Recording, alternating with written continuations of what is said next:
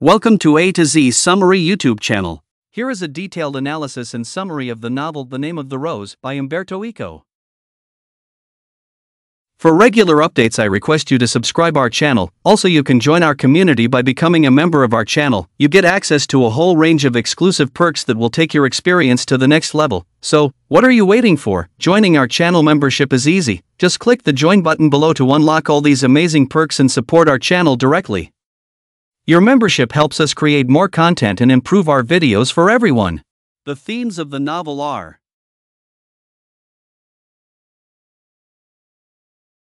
The characters in the novel are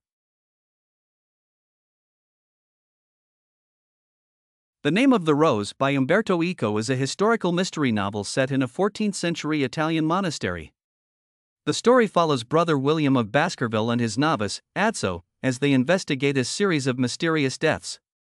Through the use of rich historical detail and intricate plotting, Eco delves into the conflict between reason and religion, the nature of truth, and the dangers of censorship. The novel is known for its complex narrative and deep philosophical questions, wrapped in the suspense of a murder mystery. The story begins with William of Baskerville, a brilliant and insightful Franciscan friar, and his novice, Adso of Melk, arriving at a Benedictine abbey in northern Italy. They are on a mission to attend a theological debate, but upon their arrival, they learn that a tragedy has occurred. One of the monks, Adelmo of Otranto, has died under mysterious circumstances. The abbot, Abio of Fossanova, asks William to investigate Adelmo's death. William, known for his sharp intellect and logical reasoning, agrees to help. Adelmo was a skilled illuminator who worked in the abbey's scriptorium, a place where manuscripts were copied and decorated. His body was found at the bottom of a cliff, leading many to believe he committed suicide. William and Adso begin their investigation in the scriptorium. They learn that Adelmo was involved in a heated discussion with Venantius of Salvemec, a Greek translator, and Jorge of Burgos, a blind and elderly monk, just before his death. Jorge, a strict traditionalist, disapproved of Adelmo's humorous and playful approach to his illustrations, considering them blasphemous. As William and Adso delve deeper, they discover that the Abbey is rife with secrets. They learn about the existence of a mysterious book that many monks seem to be obsessed with. This book is believed to be housed in the Labyrinthine Library, a restricted area that only the librarian and his assistant can access. The next morning, Venantius is found dead in a barrel of pig's blood. It becomes clear that these deaths are not accidents but murders. William deduces that the deaths are connected to the mysterious book and the library. Determined to uncover the truth, William and Adso decide to explore the library at night. They navigate the labyrinth using clues from ancient texts and symbols. Inside, they find a vast collection of forbidden books, including those by heretics and pagans.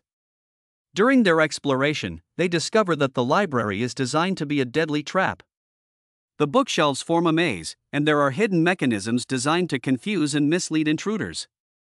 Despite the dangers, they find clues that suggest the mysterious book is a Greek manuscript on comedy by Aristotle, a work believed to be lost. The next day, another monk, Berenger of Arundel, goes missing. His body is later found in the baths, showing signs of poisoning. William suspects that Berenger, who had a clandestine relationship with Adelmo, found the book and was killed for it. The murders continue with the deaths of Severinus, the herbalist, and Malachi, the librarian. Each death seems to follow a pattern based on the Apocalypse of John, which hints that the killer is staging the murders according to the Book of Revelation. As the investigation progresses, William and Adso piece together the connections between the victims and the mysterious book. They realize that the killer is trying to prevent the spread of Aristotle's work on comedy, fearing it would undermine the church's authority by promoting laughter and free thought. Their suspicions eventually lead them to Jorge of Burgos. Jorge, blinded by his fanaticism, believes that laughter is a sin that must be eradicated. He confesses to poisoning the pages of the book with a deadly substance, knowing that anyone who reads it will die.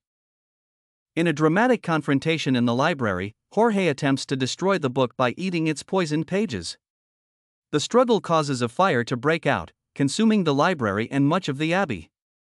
Jorge perishes in the flames, along with the secrets of the library.